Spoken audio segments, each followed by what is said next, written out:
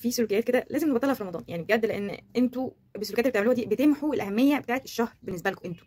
هو كده كده رمضان بيكمل كده كده في ناس تستفيد بيه بس بالنسبة لكم أنتوا رايح على الفاضي. ليه؟ لأن أنتوا بتعملوا حاجات كتير قوي غلط على مدار اليوم في رمضان وبتواصلوا عليها فبالتالي ما بتبقوش حاسين برمضان. لأن أنتوا بتقولوا إيه ده هي فين؟ إحنا مش حاسين بيه عشان أنتوا ما بذلتوش أي جهد إن أنتوا تحسوا بيه. مبدئيا كده إيه أول حاجة بتحصل؟ قبل ما نعرف إن خلاص آه، رمضان جه.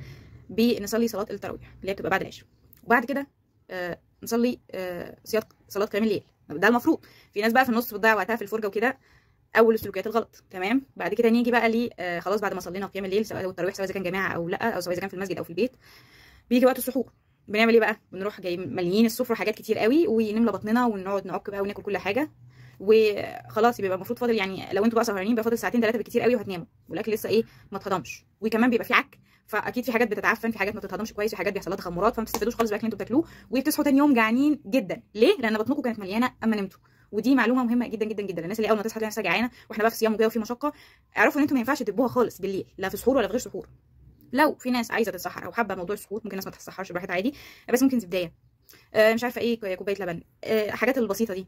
لكن ناكل وجبة كاملة صعب. الناس اللي ممكن تكون بتشتغل شغل جامد وكده ممكن تاكل سندوتش فول وخلاص الموضوع انتهى على كده والفول بقى مسمار البطن وهيمسكوا تمام ومش هتجوع وكده. لكن العكعكة اللي بتحصل دي ما تنفعش. هنيجي بقى بعد كده إيه لنقطة المية. الناس بقى بتيجي يعني ممكن طول اليوم عادي ما يكونوش دقوا الميه ولا عرفوا أصلا طعمها إيه ولا بقوا مية ولا أي حاجة طول النهار واليوم ويجوا بقى قبل اللي هي الفترة بتاعت السحور دي قبل الفجر يملوا معدتهم مية يجيبوا بقى شوب كده جامد ويكبوه كله مرة واحدة.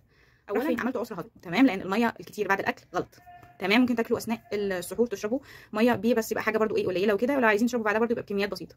غير كده هي هتروح على الفاضي ايا كان بقى كمية المية اللي شربتوها إيه ساعتها لأن خلاص جسمكم مش هيستفيد بيها ومش هيلحق حتى يهضمها مع الأكل فإيه كأنكم ما شربتوش حاجة بالظبط وهتصحوا تاني يوم عطشانين جدا عادي لأن خلاص جسمكم خرج السوائل اللي هو مش محتاجها. وأنتوا كده كده زودتوا الحاجة على الوقت ده في الصلاة أفضل من الأكل والشرب.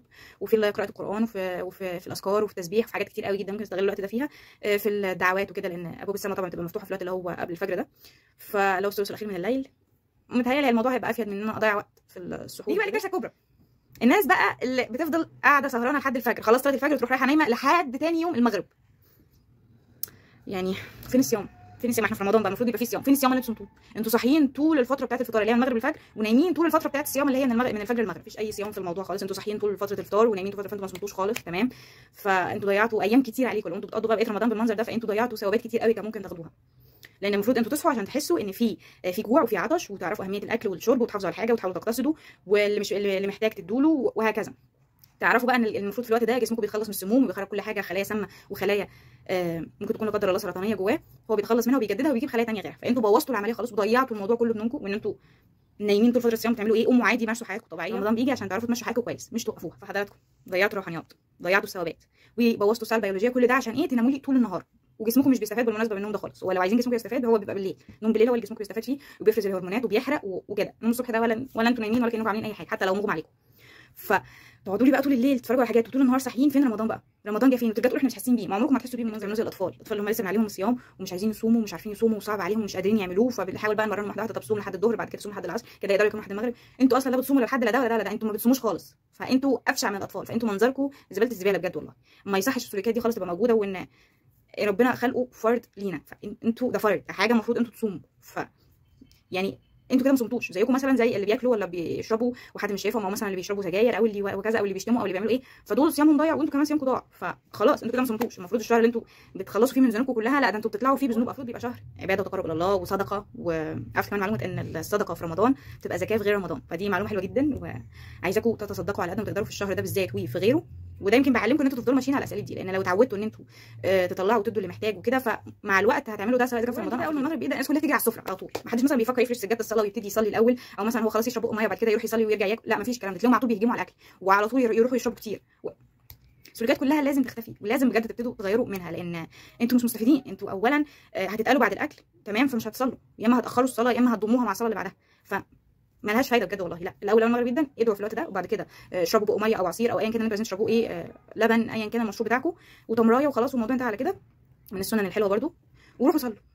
جماعة مش جماعة المهم كلكم روحوا صلوا الأول. وبعد كده تعالوا بقى ارجعوا كلوا لكن ما تهجموش كده على طول جسمكم لسه المفروض أنتوا عدد ساعات فضل صايم وتروحوا هاجمين فجأة على المعدة كده أنتوا بتعملوا عسر هضم خطير. ما اقولكوش. لا وبعدين بقى إيه السفرة بقى. حلو وحادق ومشروب وعكي إيه وبدع إيه وضفنا حاجات كده مالهاش أي علاقة بالوجود. وبجد معظم الأكلات الرمضانية مضره جدا بالصحه جدا جدا. لو تركزوا هتلاقوا إن فيها كمية سعرات حرارية ومش مفيدة بدرجة كبيرة جدا. يعني المفروض إحنا بنحاول نحسن صحتنا في الشهر ده. ربنا جعله علشان نخف على جسمنا شوية. ما نملاهوش دهون ما نملاهوش كربوهيدرات. فنيجي نلاقي نفسنا مش قادرين نتنفس ولا بنمشي بصعوبة فالشهر ده جاي يساعدنا من جميع النواحي. فانتوا ضيعتوا كل ده واليوم بيخلص عندكم على كده مسافة ما بدأ مسافة ما نهيتوا اليوم. لا لسه في حاجات كتير قوي طول الليل المفروض تتعمل. ما أنا عشان كده بقول لكم ابنوها صح من أول الليل من أول ما تعرفوا إن خلاص هنصوم لحد تاني يوم بقى الصيام وما تبوظوش بقى كل اللي إحنا عملناه ده وصومنا وخلاص وجسمنا استفاد وحرق ال- الدهون اللي فيه وكده وتيجوا أنتوا تملوا دهون تانية جديدة. طب إحنا عملنا العكعكة دي بتنهيكوا عن أداء الفروض وبتنهيكوا عن أداء النوافل اللي هي هتبقى أكيد مفيدة كتير جدا عن الأكل اللي أنتوا بتاكلوه. وأحب أقول لكم إن أنتوا مش بالأكل كتير مش إن أنا هعوض بقى أنا صمت طول اليوم فاكل كتير. طب ما استفدنا إيه؟ المفروض إن أنتوا بتصوموا عشان جسمكم يستفيد من الأكل اللي أنتوا أكلتوه قبل كده. فما تجوش بقى تبوظوه بنظام الصح إن أنا أعرف إيه أهمية الصيام. ربنا جعله ليه؟ هعرف بقى أصوم صح هعرف أبقى ماشية طول الشهر صح هعرف أستغل الشهر في إن أنتوا تقعدوا من أول اليوم لاخره بتحضروا الأكل ما ينفعش من أول ما تصحوا لحد المدفع ما يضرب تكونوا بتحضروا الأكل لأ غلط. المفروض أول ما المدفع يضرب دي بقى إحنا بنكون مبسوطين إن خلاص جه الليل إن إحنا هنتعبد فيه كمان زيادة عن النهار. مش اللي هو إيه ده خلاص ده إحنا هناكل.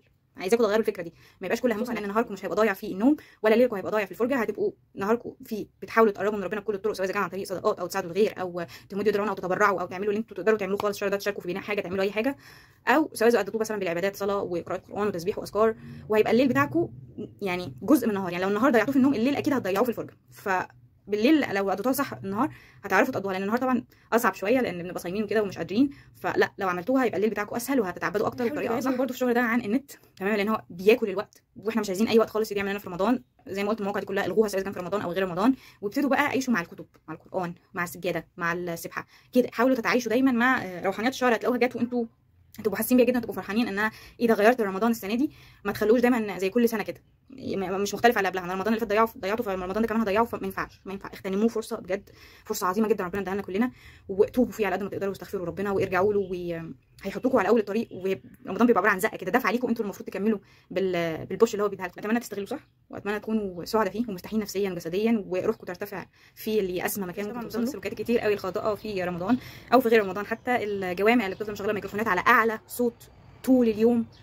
وبي- بيبدوا بيدوا خطب خطب بعد كل صلاة. ده دين مين ده ولا جايبينه منين ولا في شرع مين الكلام اللي بيحصل ده ولا الناس دول جايبينهم منين بجد؟ للأسف بقى أي حد دلوقتي آه، آه، ممكن يروح جامع ويخطب في الناس ويدن ويستغل الميكروفونات لصالحه ويفضلوا مشغلينها وكأن الناس ما عندهمش راديوهات ولا تلفزيونات في ممكن يشغلوا فيها قرآن عادي جدا وكأن ما حاجات مش متاحة مثلا في كل وقت لا لازم أشغل ميكروفون بقى على صوت على طول وفي صلاة وفي غير صلاة وأزعج الناس وهو ده كده الدين بالنسبة لهم. للأسف بيتاجروا في الدين تجارة وحشة قوي وبجد لازم يقف عند حدهم سلوكيات كترت قوي. تخيلوا كل جامع ومسجد وزاوية يبقوا مشغلين الميكروفون بتاعهم على أعلى صوت سواء إذا كان في أذان أو في غير أذان كل صلاة الموضوع يعتبر عذاب يعني بالنسبة لناس كتير قوي يعني. فأتمنى بجد إن السلوكيات دي تخلص وتختفي بجد لأن زيها زي الزمامير اللي شغالة ال 24 ساعة دي من العربيات اللي يا رب تختفي برضه. اتمنى بجد الناس تبتدي تعي كده إن هو شهر كريم مبارك. ما ينفعش خالص يبقى موجود فيه السلوكيات اللي موجودة على مدار العام وإن إحنا بنستحمل السلوكيات دي على مدار العام بالعافية فمش هيبقى كمان في الشهر اللي إحنا بنستناه. لو فاطرين لأي عذر مرضي أو عذر قهري أو ايا كان إيه تيجوا تاكلوا أو تشربوا أو كده ما يكونش قدام حد علشان مش عشان ده مثلا عيب والله كده لأ بس عشان هم ما يتضرروش. هم مثلا صايمين وتعبانين وكده ممكن آه، يبقى ده عذاب بالنسبة لهم فأدام حد مش مستحمله فيفضل إن السلوك ده نتفاداه لأن في أكلات معينة كده بتبقى غير في رمضان بس. ماشي فرحانين okay إن هي تبقى عاملة طعم رمضان وكده okay ماشي. ورمضان بس يبقى هو المنفرد بيها بس ليه القطايف ما تبقاش على مدار العام مثلا؟ ليه ما ليه بتتعمل في رمضان بس؟ ده ظلم ظلم. يعني الكنافه بتتعمل على مدار رمضان السنة كلها مش رمضان بس. اشمعنى بقى القطايف؟ يلا كميه كبيرة قوي في رمضان طبعا بالذات ملمومين زيه زي العيد بالظبط على محلات الحلويات. ليه؟ عارفين يعني والله بجد يا جماعة محتاجين تبطلوا الموضوع ده وهي بتبقى مليانة سكريات وبتبقى مليانة حاجات مقرفة بجد وبتضركم جدا مفيش منها أي نفع وطعمها بيبقى مسكر وزيادة عن اللزوم قوي يعني وحاجات كده اللي هو تعمل نظر أول ما تاكلوها فبلاش بطلوها امنعوها مش لازم حلوة قوي. رمضان بلاقي الحاجات دي بتشغي كده بتنرفز اللي هو لأ دي حاجات مش مفيدة ابعدوا عنها. العراك بتفضل مستمرة في الشارع وفي البيت وفي كل حتة بلا أي احترام لهذا الشهر الكريم بلا أي حساب للضيف الكريم اللي داخل عليكم ده. وإنه برده لا حياتكم كملوا عادي نفس اسلوب الزبالة ونغلط في بعض ونضرب بعض ونشتم بعض ونهين بعض ونتعارك ونتخانق والناس كلها تسمع أصواتنا وكل ده ليه؟ لأن مفيش آه احترام لا للنفس ولا اللي حواليا فبالتالي مش هيبقى فيه احترام للأسف لهذا الشهر الفضيل في محلات كتير قوي قافلة طول النهار بتاع رمضان. طبعا دول اللي هم الناس اللي بتبقوا نايمين في البيت دول اللي هم ما بيصوموش. فدي كارثة اللي هو اسعوا في رزقكم رمضان مش بيقول لكم اقفلوا شغلكم واقعدوا في البيت. لا رمضان بيقول لكم صوموا وخلاص أنتوا اكلوا وشربوا ومارسوا بقيه حياتكم طبيعي عادي جدا من غير ما تسببوا أي أذى لا لفظي ولا جسدي للناس.